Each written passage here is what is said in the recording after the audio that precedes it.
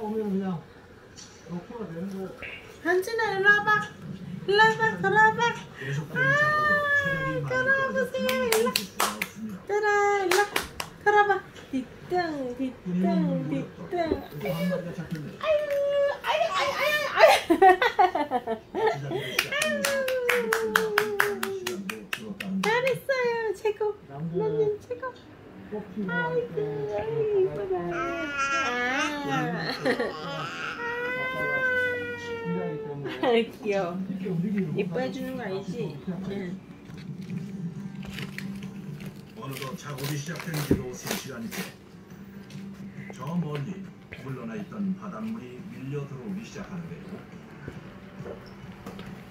너무 그런 거 사람 키가 너무 민물하고 동물